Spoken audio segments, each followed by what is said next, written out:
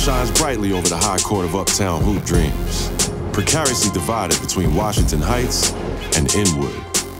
Between the whistles and beneath the project towers is where a young Lou Alcindor changed from a boy to the prototypical big man, perfecting the skyhook and agility unprecedented. Part and parcel of a history fathoms deep, where 3,000 highlight-hungry fanatics crowd the fence weekly to bear witness to the greatness of guards like Eric Opio, aka El Presidente, disrupting any and all defenses. J.R. Smith and Kemba Walker, perfecting their seasonal alley-oops and stepbacks. Dominican Power, raining long-range crossover dreams on Uptown's friendliest rims. Young men with names like Too Hard to Guard, formerly known as Idris de Leon, before his handle made him the stuff of legend. New York City's Black Top Kingdom. Many would say this is the most entertaining outdoor ball in the city. Between the lines and in the paint, and with a style and grace that can only be found uptown. We are New York City basketball at its very best. Dyckman. This should be an automatic W. I've got Kevin Durant on my team. I know you've seen footage of Durant tearing it up on courts like this. They stand no chance. I'm going to get him the ball. We're not going to ball hog. We're going to get him going. He's going to get himself going. Durant's calling for it. Oh, look at that step back three. I'm on the glass, though. Look at his body. Look at the strength. Pick and pop with Durant all day. Pick and roll this time. To the basket. He's on the board. Should I steal this? Can I steal this? What a block. Not in my house. Durant says no. Get that cheese out of here. And this was not a good possession.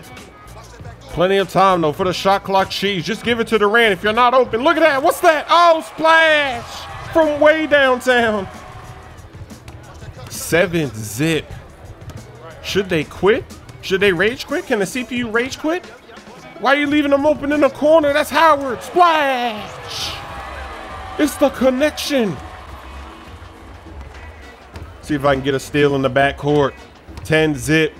The game should be over. The game should just automatically disqualify the CPU when you get off to a start like this. The red with the steal. Hitman. All the way. Ah, blew the layup. Come on, cuz. Let's see if we can hold the CPU to under 10 points. They're finally on the board. But I think we can do it. We're playing lockdown defense. Durant's firing again in the corner. He's splashing again.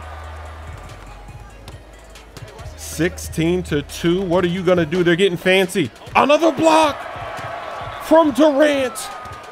You know the rules. Why not let it fly? Splash.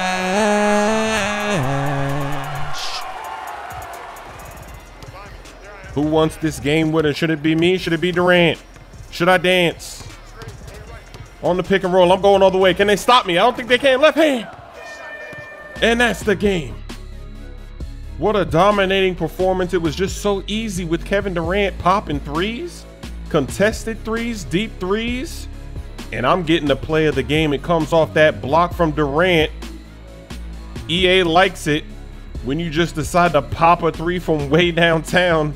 I was way behind the line. That's Steph Curry type range. What a game. I had seven points, four assists. Durant with 11. I finally had my next skill unlocked, the dribbling. So I'm going to go ahead and use one skill point on my three-point shooting, get that up to an 82. And I'm going to use the other skill point on my dribbling. We got to start boosting that up so we can get some ankle breakers. Oh, what a pass behind the back! Oh, baby, what a pass! That was with the left hand on the money, behind the back into the corner. Are you serious? You got to play fancy when you're going up against